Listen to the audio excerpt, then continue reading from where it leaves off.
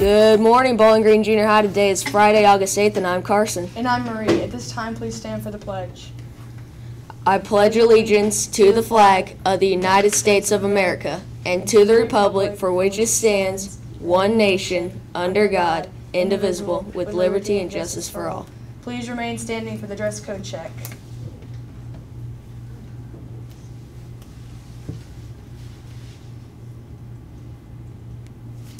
Today's lunch choices are corn dog, turkey and cheese sandwich, and macaroni and cheese with fruits and veggies. The birthdays are unknown today.